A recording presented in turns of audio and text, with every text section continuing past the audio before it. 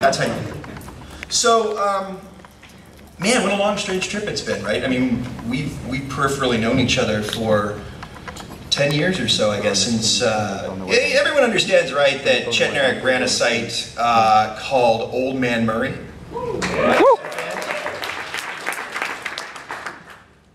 And uh, probably you're, you're most familiar with the, the, the Start to Crate statistic for video games. Um, so some applause there. So tell me, so let's start there because I mean that's sort of the, you, you guys have the classic tale, right? You have the classic uh, uh, from the outside and became, you lived long enough as the hero to become the villain. sure. um, so like the start of all Yeah, sure, just in general, so Old Man Murray, just, just, what made you decide that you wanted to write about video games? Was that a, write about video games? Purely monetary. Yeah, we were super, um, super poor. We owned a data processing company called uh, Murray and Sons, and we named it that way because we thought we wanted to show that we were been around for a while with longevity. So family, a family. Yeah, because everything was like, you know, Data Pro Master. Your initials that you couldn't understand. So we thought, okay, it'll be a family name. Like, yeah, like a plumbing company or, or something like that. Did, did you envision that maybe you'd have an established in and then a fake year?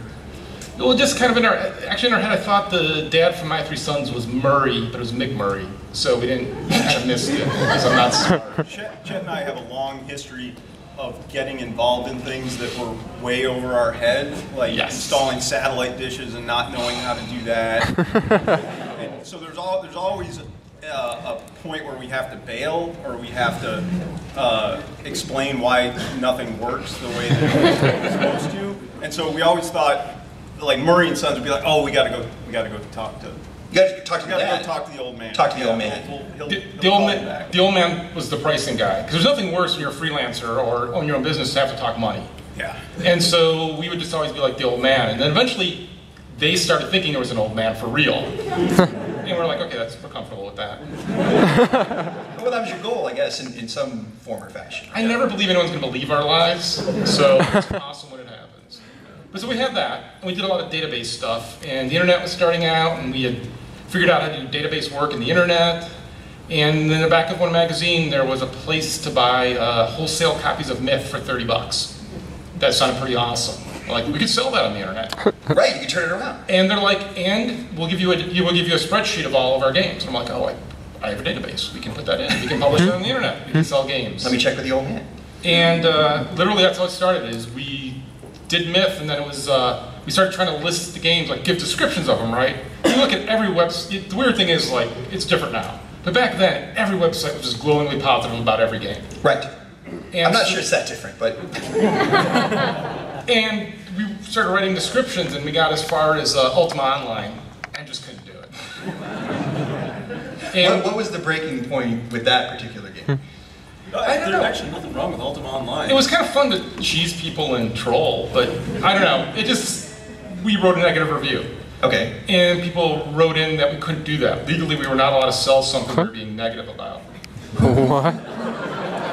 The, the general internet wrote Well, this is, remember, back in the day, there was not forums. There was right, Usenet. Right. Okay. And that's where people posted and got into crazy arguments. And they decided no. that what we were doing was illegal for some reason, that they were going to let uh, Richard Garriott no, and we would be closed down. wow because he's so litigious. Yes, and so we survived that. Well, obviously, yes. And then, and so uh, that that was the beginning of what later became. Yeah, really, it was like we started doing the short reviews and just started riffing on. We wouldn't play these games. So no, horrible. it was just free associating. To, you know, we didn't play Berenstain Bears take a bath. Really? no Barbie Horse Adventures. Nothing like that. Okay. Oh, interesting. All right. Oh, there we go. Uh, but it, but it went from there. It went from there into a much more formal website, you know, in terms of, of taking apart, let's call them tropes. Yes. Formals are probably a really weird word to use, you're right. I mean, just a more concerted effort to deconstruct. Yeah, or just a, yeah, that might even be overstating. I mean, it was just, we were going to tell some jokes and quickly stopped selling the games because that was a huge oh, pain in the ass. In the ass. Uh, it was like we were just successful enough that every Friday we would have to go to the post office with a bunch of boxes of games, and it's like this sucks. Right. It was. It was. Uh, it was. Uh, yeah, it was just not worth it. But the working on the website was fun, so we kept doing that, and we wrote a little tracker so that we could see where the IPs visiting it w- were from. And there'd be five at first, and then 10, and all of a sudden we started seeing some IPs that we could track back to uh, game companies. id, I think, was the first one. Yeah. And it was, you know, we, were, we went crazy. Uh, Yeah, the program would actually play little sounds when certain people came because they're all Yeah. excited. so Wait, no, wait, wait, wait. What sounds? I don't even remember. I think probably sounds from Doom. We just stole them. or something. Okay. But yeah, it was it was exciting. You know, we Yeah. were still doing our normal work, but we were writing. And we're talking like 50 people for a day. Yeah, that that Right, it. right. Like no one, right? But and then- then it would have been, uh, whatchamacallit, the 3D uh, dinosaur game. Uh, Trespass. Trespasser, yes. Oh God. And that guy who was such a fan. Do you remember that guy? Yeah, the, the, one of their producers called us and left us a message, not too happy. What we had done was we took all the hype and then compared it to all the reviews. Right. Um, which they didn't quite live up to.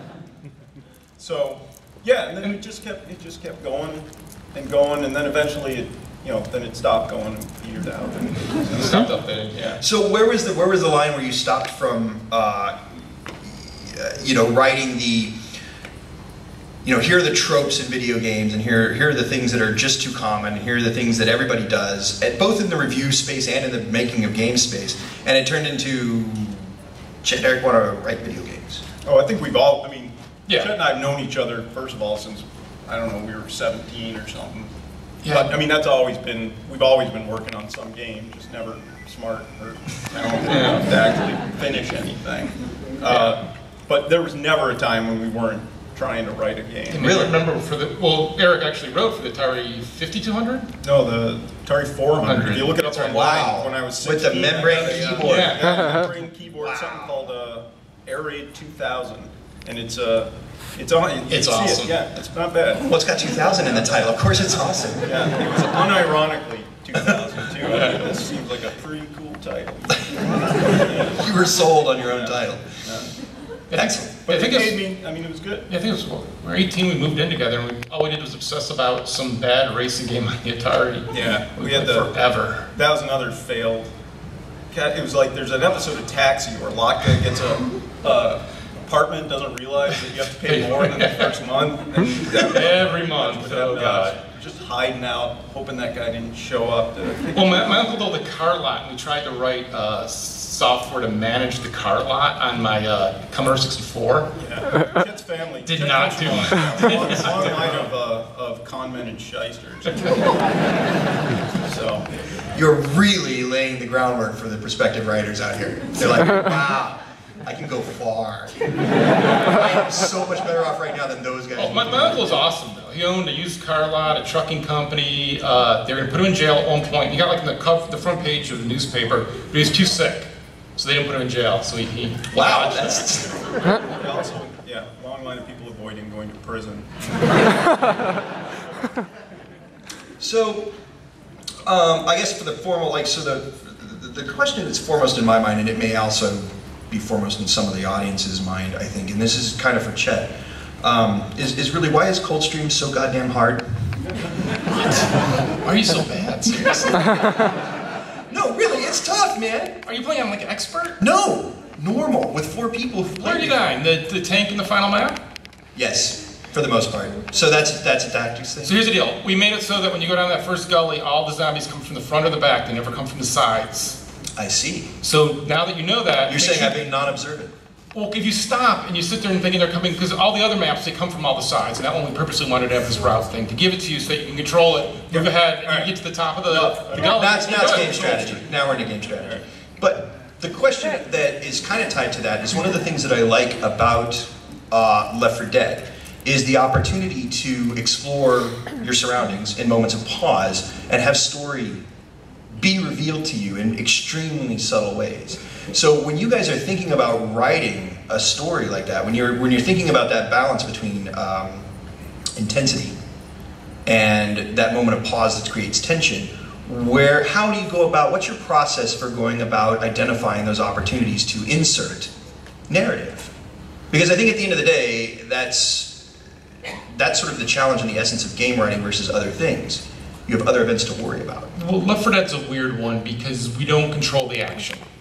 So we don't know where you're going to pause. So what we actually do is we litter the level with opportunities, and a lot of them will only be like 10 or 20%. So you can play the map a whole bunch of times, and what'll happen is you'll have to be standing next to this character, not be in combat, and then you have a 10% chance that it's going to fire. And so it ends up, it happens really infrequently. And that makes it spread out so that wherever you have those down points, we try to have it spread through the map, right? Where Portal, you more or less know where people are going to have their down moments, where they're going to have their pauses, and we can fill in there. And we tried, we tried a bunch, I mean, that was clearly the goal from the writing perspective Left 4 Dead was that we knew it was being designed to be played over and over again, so we kind of wanted to give you the sense that you'd hear something new, Yeah. you know, uh, as you kept playing it. And we thought, uh, you know, because we always overwrite and things are too long and wish we had more time to just talk and talk and talk. And, you know, we even had, I remember talking to Booth, there was this whole back and forth about could we pause the director?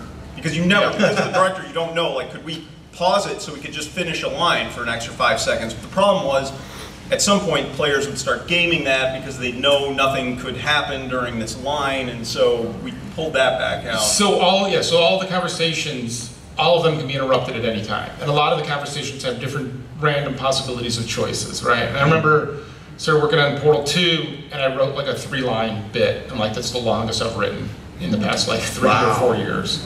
Wow. Because you always have to, you never know the future, so you can never talk about the future. You only know the moment.